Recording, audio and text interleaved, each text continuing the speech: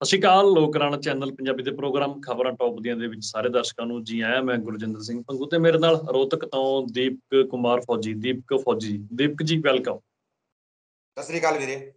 ਜੀ ਸਤਿ ਸ਼੍ਰੀ ਅਕਾਲ। ਦੋਸਤੋ ਅਸੀਂ ਦੀਪਕ ਜੀ ਤੋਂ ਜਾਣਾਂਗੇ ਜੋ ਬੀਤੇ ਕੱਲ ਸਿੰਘੂ ਬਾਰਡਰ ਐਸਕੇਐਮ ਦੀ ਮੀਟਿੰਗ ਹੋਈ। ਉਸ ਮੀਟਿੰਗ ਦਾ ਆਧਾਰ ਕੀ ਸੀ? ਇੱਕ ਤਾਂ ਇਹ ਅਸੀਂ ਜਾਣਦੇ ਹਾਂ ਕਿ ਜਿਹੜੀਆਂ ਮੰਗਾਂ ਸੈਂਟਰ ਸਰਕਾਰ ਦੇ ਸਾਹਮਣੇ ਰੱਖੀ ਗਈਆਂ ਸੀ ਐਮਐਸਪੀ ਦਾ ਮਸਲਾ ਹੋ ਗਿਆ। ਉਸ ਤੋਂ ਇਲਾਵਾ ਜੋ ਲਖੀਮਪੁਰ ਘਟਨਾ ਵਾਪਰੀ ਸੀ ਜਾਂ ਜੋ ਕਿਸਾਨਾਂ ਦੀ ਸ਼ਹਾਦਤ ਹੋ ਗਈ ਸੀ ਉਹਨਾਂ ਨੂੰ ਮੁਆਵਜ਼ਾ ਦੇਣਾ ਤਮਾਮ ਇਹੋ ਜਿਹੀਆਂ ਮੰਗਾਂ ਸੀ ਜਿਹਨੂੰ ਲੈ ਕੇ ਅਮ ਕਿਸਾਨ ਆਗੂਆਂ ਐਸਕੇਐਮ ਨੇ ਇੱਕ ਗੱਲ ਤਾਂ ਕਹੀ ਹੈ ਕਿ ਬੀਜੇਪੀ ਸਰਕਾਰ ਵੱਲੋਂ ਗੌਰ ਨਹੀਂ ਕੀਤਾ ਗਿਆ। ਭਾਵੇਂ ਪੰਜਾਬ ਯੂਪੀ ਹਰਿਆਣਾ ਤਮਾਮ ਕਿਸਾਨਾਂ ਦੀ ਗੱਲਬਾਤ ਹੋਵੇ ਜੋ ਅਸੀਂ ਕਹਿ ਕੇ ਆਏ ਸੀ ਇੱਕ ਮਹੀਨੇ ਦਾ ਅਲਟੀਮੇਟ ਦੇ ਕੇ ਦੇ ਕੇ ਆਏ ਸੀ ਅਸੀਂ ਸਰਕਾਰ ਨੂੰ ਉਹਨਾਂ ਗੱਲਾਂ ਉੱਤੇ ਬੀਜੇਪੀ ਸਰਕਾਰ ਵੱਲੋਂ ਗੌਰ ਨਹੀਂ ਕੀਤਾ ਗਿਆ। ਇਸ ਨੂੰ ਲੈ ਕੇ ਫਿਰ ਅੱਗੇ ਅ, ਪ੍ਰੋਗਰਾਮ ਕੀ ਐਸਕੇਐਮ ਵੱਲੋਂ ਬਣਾਏ ਗਏ ਨੇ? ਇੱਕ ਗੱਲ ਚੱਲਦੀ ਸੀ ਸਾਡੇ ਨਾਲ ਪਹਿਲਾਂ ਵੀ ਦੀਪ ਕੁਮਾਰ ਫੌਜੀ ਜੀ ਇੱਕ ਪ੍ਰੋਗਰਾਮ 'ਚ ਜੁੜੇ ਸੀ ਬਲਵੀਰ ਸਿੰਘ ਰਾਜੇਵਾਲ ਹੋਰੀ ਸੰਬੰਧੀ ਗੱਲ ਹੋ ਰਹੀ ਸੀ ਕਿ ਐਸਕੇਐਮ ਦੇ ਤਾਂ ਇਹ ਵਿਚਾਰ ਹੈ ਇਹ ਵਿਚਾਰਧਾਰਾ ਜਿਹਦੇ ਤੇ ਐਸਕੇਐਮ ਕੰਮ ਕਰਦਾ ਕਿ ਜੋ ਆਗੂ ਕਿਸਾਨ ਆਗੂ ਖਾਸ ਕਰਕੇ ਜੋ ਪੋਲੀਟੀਕਲ ਹੋ ਗਿਆ ਉਹ ਐਸਕੇਐਮ ਦਾ ਹਿੱਸਾ ਨਹੀਂ ਰਹਿ ਸਕਦਾ ਐਸਕੇਐਮ ਦੀ ਮੀਟਿੰਗਾਂ 'ਚ ਉਹ ਹਿੱਸਾ ਨਹੀਂ ਲੈ ਸਕਦਾ। ਹੁਣ ਬਲਵੀਰ ਸਿੰਘ ਰਾਜੇਵਾਲ ਹੋਰਾਂ ਨੇ ਪੋਲੀਟੀਕਲ ਆਪਣਾ ਸਿਸਟਮ ਖੜਾ ਕਰ ਲਿਆ ਤੇ ਐਸਐਸਐਮ ਬਣਾ ਕੇ ਉਹ ਇਸ ਵਾਰ ਪੰਜਾਬ ਦੇ 2022 ਚੋਣਾਂ ਨੇ ਤੇ ਸਿਆਸੀ ਪਿੜ ਦੇ ਵਿੱਚ ਅਹ, ਕੁੱਦਣ ਵਾਲੇ ਨੇ। ਇਲੈਕਸ਼ਨਾਂ 'ਚ ਸਮਾਂ ਥੋੜਾ ਰਹਿ ਗਿਆ। ਆਪਣੇ ਜੋ ਕੈਂਡੀਡੇਟ ਨੇ ਲਗਾਤਾਰ ਅਨਾਉਂਸਮੈਂਟ ਜਾਰੀ ਹੈ 10 ਕੈਂਡੀਡੇਟ ਅਨਾਉਂਸ ਕਰ ਵੀ ਦਿੱਤੇ ਨੇ। ਖਾਸ ਗੱਲ ਇਸ ਮੀਟਿੰਗ ਦੀ ਇਹ ਸੀ ਜੋ ਪਿਛਲੇ ਕੱਲ ਮੀਟਿੰਗ ਹੋਈ ਸਿੰਘੂ ਬਾਰਡਰ ਤੇ ਕਿ ਅ, ਬਲਵੀਰ ਸਿੰਘ ਰਾਜੇਵਾਲ ਇਸ ਮੀਟਿੰਗ ਦਾ ਹਿੱਸਾ ਨਹੀਂ ਬਣੇ। ਕਿਉਂ ਨਹੀਂ ਬਣੇ? ਅੱਗੇ ਕੋਈ ਕਾਰਵਾਈ ਹੋ ਸਕਦੀ ਹੈ? ਕਿਸਾਨ ਆਗੂ ਖੁਦ ਹੀ ਕਹਿੰਦੇ ਸੀ ਕਿ ਜੋ ਬੰਦਾ ਪੋਲੀਟੀਕਲ ਹੋ ਗਿਆ ਉਸ ਤੇ ਕਾਰਵਾਈ ਹੋਊਗੀ। ਕਾਰਵਾਈ ਤੋਂ ਭਾਵ ਕਿ ਉਹ ਐਸਕੇਐਮ ਦਾ ਹਿੱਸਾ ਨਹੀਂ ਰਹੂਗਾ।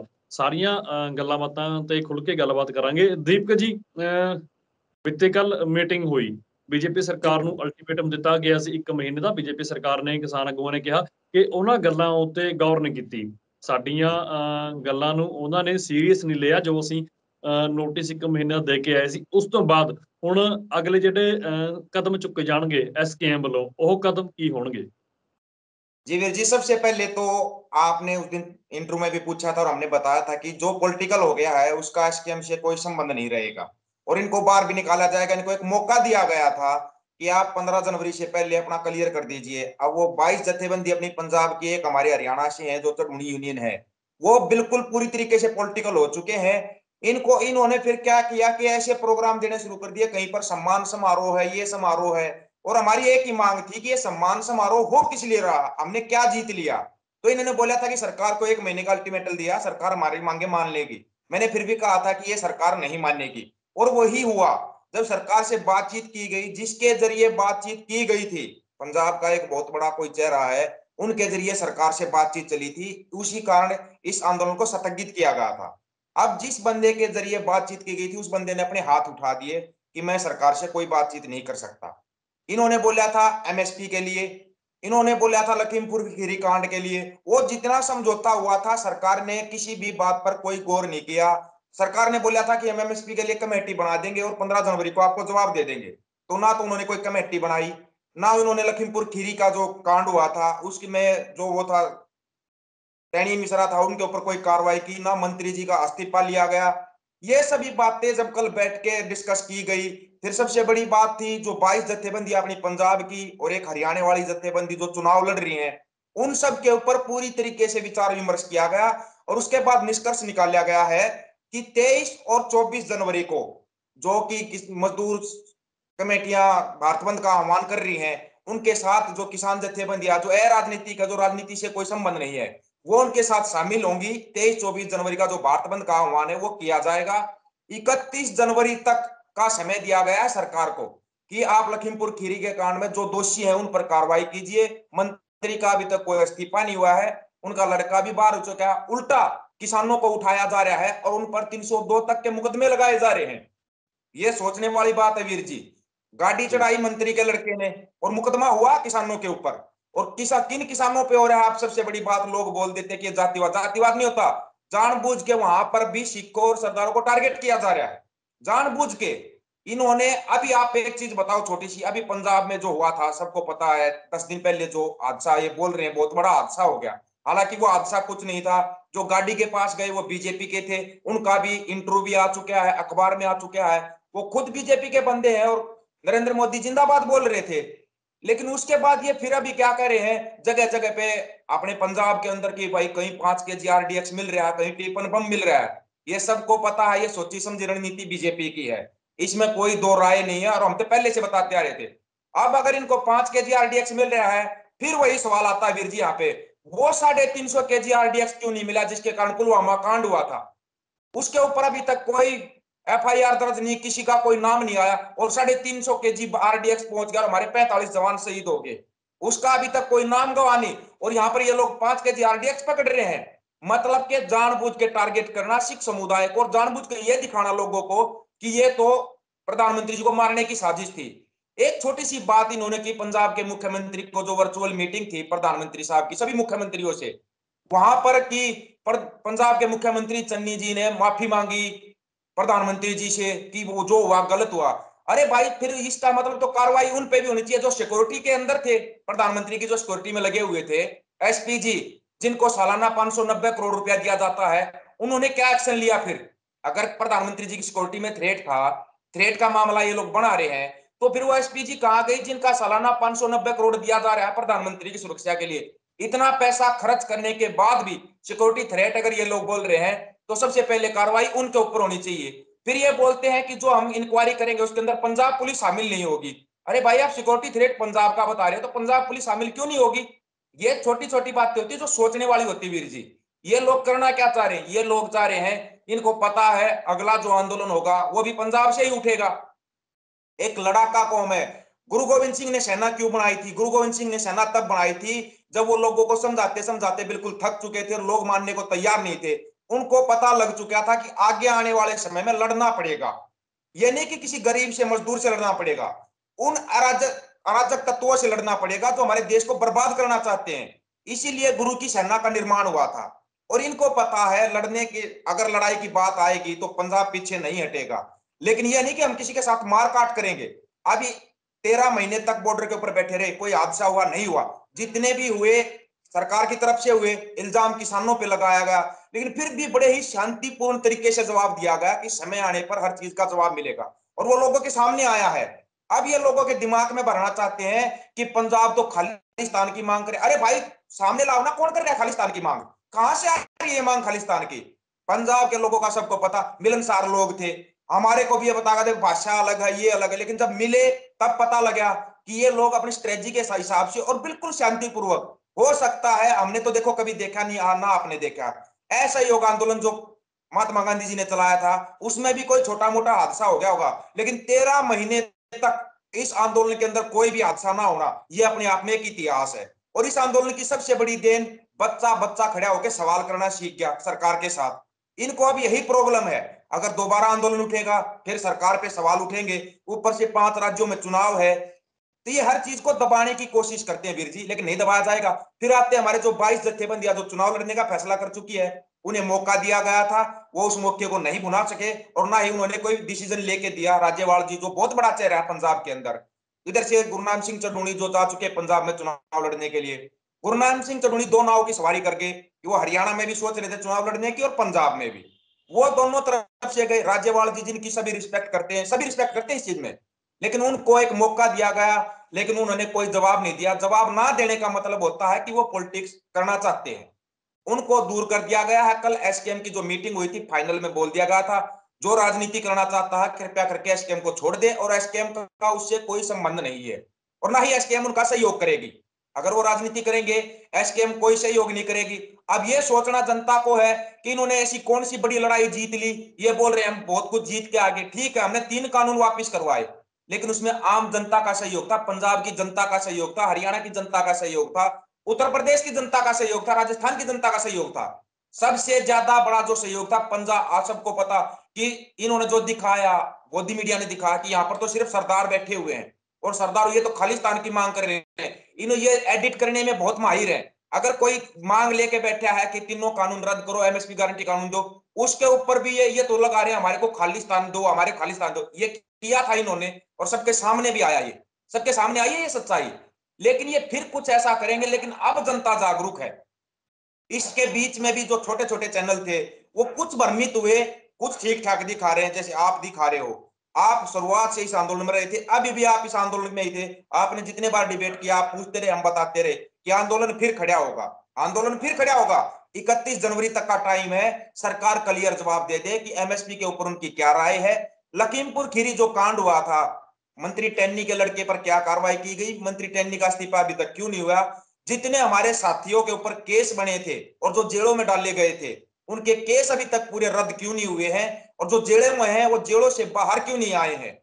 ये बहुत बड़ा वो मुद्दा बचा हुआ था लेकिन सरकार ने कोई प्रतिक्रिया ना दे के ये क्लियर कर दिया कि ये सरकार किसान और मजदूर की विरोधी है अगर ये इतने विरोधी हैं तो फिर हमें ऐसी सरकार नहीं चाहिए जी दीपक जी देखो ਖਾਸ ਧਿਆਨ ਲੋਕਾਂ ਦਾ ਇਸ ਗੱਲ ਤੇ ਹੈ ਕਿ ਜਿਵੇਂ ਦੇਖੋ ਕਿਸਾਨ ਮੋਰਚੇ ਦਾ ਇਹ ਹੈ ਕਿ ਜੋ ਬੰਦਾ ਪੋਲੀਟੀਕਲ ਹੋ ਗਿਆ ਤੁਸੀਂ ਵੀ ਇਹ ਗੱਲ ਕਹੀ ਕਿ ਜੋ ਬੰਦਾ ਪੋਲੀਟੀਕਲ ਹੋ ਗਿਆ ਉਹ ਐਸਕੇਐਮ ਤੋਂ ਬਾਹਰ ਹੋ ਜਾਊਗਾ ਰਾਜੇਵਾਲ ਸਾਹਿਬ ਪੋਲੀਟੀਕਲ ਹੋ ਗਏ ਕੀ ਇਹ ਗੱਲ ਮੰਨ ਲਈਏ ਕਿ ਬਲਵੀਰ ਸਿੰਘ ਰਾਜੇਵਾਲ ਹੁਣ ਕਿਸਾਨ ਮੋਰਚੇ ਦਾ ਹਿੱਸਾ ਨਹੀਂ ਰਹਿਣਗੇ जी हाँ बिल्कुल ये कल प्रेस कॉन्फ्रेंस में आपने सुना भी होगा देखा भी होगा बिल्कुल आराम से बताया है कि जो साथी हमारे चुनाव लड़ना चाहते हैं हम उनका विरोध नहीं करें विरोध नहीं कर रहे कि भाई इनको वोट नहीं देना ऐसा कोई विरोध नहीं कर रहे लेकिन अब वो पॉलिटिकल हो चुके हैं अब वो किसान की जो जत्थेबंदी है जो एसकेएम बनाया गया हमारा संयुक्त किसान मोर्चा उसका हिस्सा नहीं रहेंगे और ना ही एसकेएम का जो हिस्सा है, वो उनके लिए कोई प्रचार प्रसार करेंगे।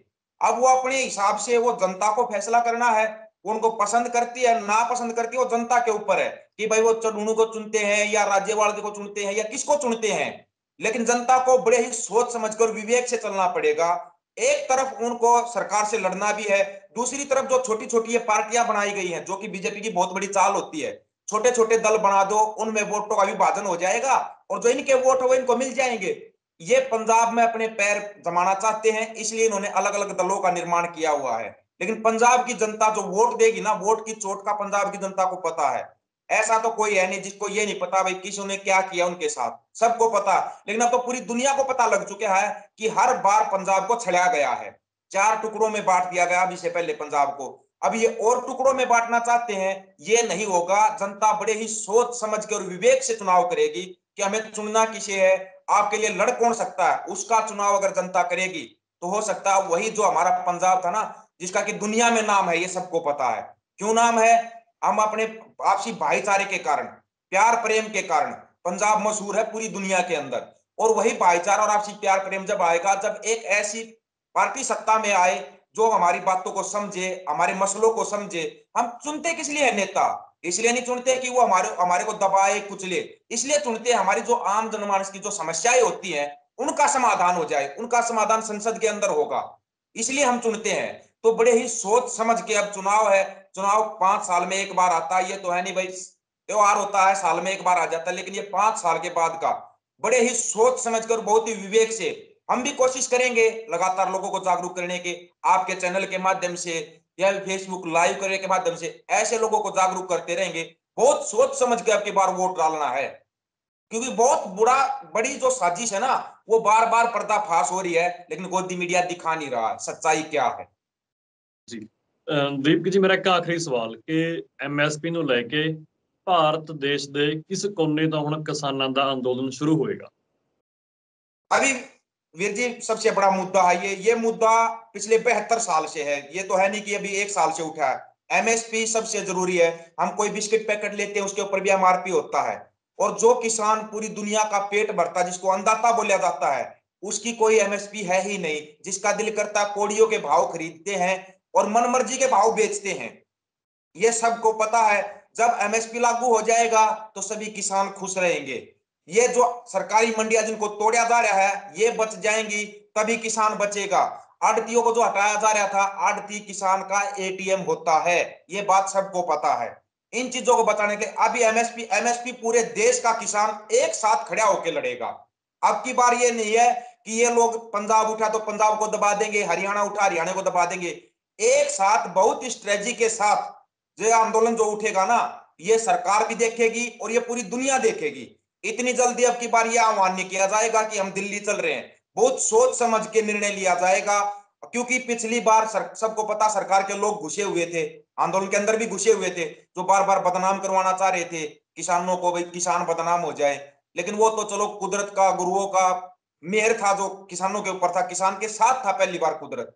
और कुदरत और किसान का जो मेल होता है ना, उससे बड़ा ही संदेश जाता पूरी दुनिया के अंदर, जो कि अब की बार गया।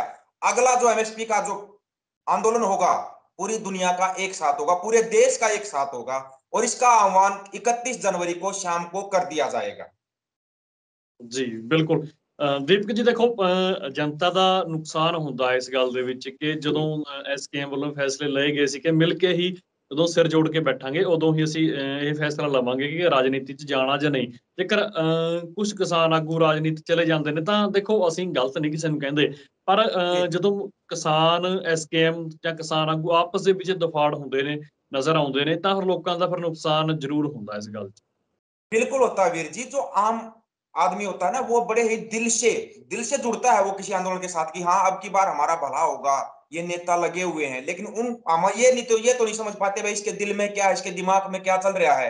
लेकिन वो समझते इतना बड़ा आंदोलन दुनिया में नाम हो गया। अभी भी एक दो है जो बचा हुआ है, जो ये सोच रहा है कि तेरा दुनिया के अंदर नाम है, तेरे को कोई नहीं समझ पाएगा। लेकिन हम अपनी लगातार कोशिश करते रहेंगे, जो अपने भाई, अपने साथी हैं, उनको लगातार जागरूक करते रहेंगे। हमारी एक सबसे बड़ी जो बात है, हमारा नेता कोई नहीं है, हमारा नेता हमारे मुद्दे हैं। हम अपने मुद्दों पे कायम रहेंगे, नेता आएँगे, नेता जाएँगे, फ़ायदा उठाने की सोचेंगे, लेकिन ये सबको समझना पड़ेगा, सोचना पड़ेगा कि अब की बार कोई नेता हमारा फ़ायदा ना उठा सके। उसके लिए हमें अपने विवेक से काम लेना पड़ेगा, हर चीज़ को गहराई से सोचना पड़ेगा और पीछे तक का विश्लेषण करना पड़ेगा। आंदोलन होगा, आंदोलन में सभी जुड़ेंगे, लेकिन उसके साथ के साथ लोगों को जागरूक करते रहेंगे अगर ये लोग हमारे ऊपर रोक लगाते आपके चैनल के माध्यम से और साथियों को जोड़ेंगे, उनके माध्यम से हम अपनी बात लगातार जनता के बीच में रखते रहेंगे। नहीं ये काम अगर ऐसे करेंगे, हो सकता है ये नेता कल को भाग जाए। अभी भी तो भागे, चालीस में से तेईस भाग। गए तो हो सकता है अभी हम किसी को नेता बनाए, फिर वो भाग जाए। तो उस चीज़ का हमें आगे तक का विचार करके रखना पड़ेगा। अब की बार जो अगुवाई होगी, वो नए हाथों में होनी चाहिए। लेकिन उनका अलग से एक और अगर ये भाग जाते हैं, चालीस भी भाग हमने पहले बोला था, अगर ये चालीस भी भाग गए तो अगले चालीस तैयार रखने पड़ेंगे। अब की बार जो आंदोलन होगा, सबसे पहले यही चीज़ सोचनी है कि हो सकता है जिनको हम अगुवा मान रहे हैं, वो भाग जाए, सरकार से मिल जाए, या खुद की पोलिटिकल पार्टी खड़ी कर लें। इन चीज़ों पर विचार करते हुए अब की बार आंदोलन को बहुत ही सोच समझ के और रणनीति के तहत उठाया जाएगा। पिछली बार ठीक है अचानक से पूरी दुनिया जुड़ गई नहीं समझ पाए थे अब की बार सोच समझ के होगा और सबके बीच में सभी पॉइंटों को रखा जाएगा अगर ये हो जाए तो आपको क्या करना है और ये हो गया तो आपको क्या करना है ਜੀ ਬਿਲਕੁਲ ਤੇ ਦੇਖੋ ਮੌਜੂਦਾ ਹਕੂਮਤ ਹੈ ਦੀਪਕ ਜੀ ਬੀਜੇਪੀ ਬੀਜੇਪੀ ਨੂੰ ਇਸ ਗੱਲ ਦੀ ਖੁਸ਼ੀ ਹੁੰਦੀ ਹੈ ਕਿ ਜੋ ਵਿਰੋਧੀ ਧਿਰ ਵਜੋਂ ਕਿਸਾਨ ਸਭ ਤੋਂ ਇੱਕ ਤਗੜੀ ਧਿਰ ਬਣ ਕੇ ਉੱਭਰੇ ਸੀ ਉਹ ਆਪਸ ਦੇ ਵਿੱਚ ਹੀ ਦਫਾੜ ਹੋ ਗਏ ये उनकी एक बहुत गलत सोच है वीर जी हम, हमारे को पता इंसान इंसान के मन में हज़ारों महत्वाकांक्षाएँ होती हैं। अगर मैं ये कर लूँ तो ये हो जाएगा। हो सकता है कोई किसी ने अच्छा सोच के ये किया हो कि हम चुनाव लड़े और संसद में अपनी बात रखें, लेकिन हम नहीं मान रहे। जब तक अगर हमने कोई लड़ाई खड़ी की है जैसे अन्ना हजारे आंदोलन में हुआ था, नेता तो निकले आए, लेकिन लोकपाल बिल का क्या हुआ? वही हुआ ना। ऐसे इस आंदोलन में जब तक हम अपनी संपूर्ण लड़ाई नहीं जीत जाते, हमारी लड़ाई तब संपूर्ण मानी जाएगी। अगर किसान की लड़ाई है तो किसान का हर एक मुद्दा हल होना चाहिए। किसान का मुद्दा एमएसपी का है, किसान का मुद्दा कर्ज माफ़ी का है, किसान का मुद्दा स्वामीनाथन आयोग की रिपोर्ट का है, किसान का मुद्दा कर्ज माफ़ी का है, किसान का मुद्दा सी टू प्लस फिफ्टी के आधार पर फ़सलों की खरीद का है। जब ये मुद्दे संपूर्ण हल हो जाएँगे, तब हम बोल सकते हैं कि हमने अपनी लड़ाई जीत ली। फिर उसके बाद हम खुद कहते हैं, जिसका मन में आए, आप लड़ो, राजनीति करो, लेकिन उससे पहले आप जिनके लिए लड़ रहे हो, उनको उनका हक दिलवाओ। ये सोच है हमारी, और इसी सोच को अब की बार जो ये सोच लेके हमारे बीच में आएगा उसका स्वागत है। बोलते हैं विजय हरियाणा में अपने कहा था आओ तो वेलकम जाओ तो भीड़ कम। अगर ये बाईस जथेबंदी और चढ़ूनी चलिया गया छोड़ के कोई समस्या नहीं है। आम किसान अभी भी वही है वो अपने मुद्दों के लिए लड़ेगा। लेकिन लोगों के बीच में जाएँगे जागरूक करते रहेंगे नहीं नहीं ये ऐसा कर सकता ये आपको ध्यान रखना पड़ेगा। जी बिल्कुल। दीपक जी शुक्रिया गलबात जी वीर जी सत श्रीकाल जी। ਸਤਿ ਸ਼੍ਰੀ ਅਕਾਲ। ਦੋਸਤੋ, ਸਾਡੇ ਨਾਲ ਬਣੇ ਹੋਏ ਸੀ ਦੀਪ ਕੁਮਾਰ ਫੌਜੀ। ਰੋਹਤਕ ਤੋਂ ਖੁੱਲ ਕੇ ਕਿਸਾਨੀ ਮਸਲੇ ਤੇ ਗੱਲਬਾਤ ਕੀਤੀ, ਕਿਉਂਕਿ ਦੇਖੋ, ਬੀਤੇ ਕੱਲ ਮੀਟਿੰਗ ਰੱਖੀ ਗਈ ਸੀ ਕਿਹੜੇ ਕਿਹੜੇ ਫੈਸਲੇ ਲਏ ਗਏ, ਜਿਵੇਂ ਕਿਸਾਨ ਆਗੂ ਐਸਕੇਐਮ ਵੱਲੋਂ, ਮੋਰਚੇ ਵੱਲੋਂ ਲਗਾਤਾਰ ਇਹ ਗੱਲ ਕਹੀ ਜਾ ਰਹੀ ਹੈ ਕਿ ਉਹ ਕਿਸਾਨ ਆਗੂ ਜਿਹੜੇ ਰਾਜਨੀਤਿਕ ਹੋ ਜਾਣਗੇ, ਉਹਨਾਂ ਨੂੰ ਮੋਰਚੇ ਤੋਂ ਅਸੀਂ ਬਾਹਰ ਕਰ ਦਵਾਂਗੇ, ਇਸ ਇਸ਼ੂ ਤੇ ਪੋਲੀਟੀਕਲ ਇਸ਼ੂ ਉੱਤੇ ਹੁਣ ਉਹ ਸਮਾਂ ਆਖਰ ਆ ਹੀ ਗਿਆ ਕਿ ਮੋਰਚੇ ਨੂੰ ਫੈਸਲਾ ਲੈਣਾ ਪੈ ਗਿਆ। ਦੀਪਕ ਜੀ ਨੇ ਸਾਰਾ ਮਸਲਾ ਤੁਹਾਡੇ ਨਾਲ ਖੁੱਲ ਕੇ ਤੁਹਾਡੇ ਸਾਹਮਣੇ ਕੀਤਾ। ਤੁਸੀਂ ਬਣੇ ਰਹੋ ਤੁਹਾਡੇ ਆਪਣੇ ਚੈਨਲ, ਲੋਕ ਰਣ ਚੈਨਲ ਪੰਜਾਬੀ ਤੇ ਧੰਨਵਾਦ।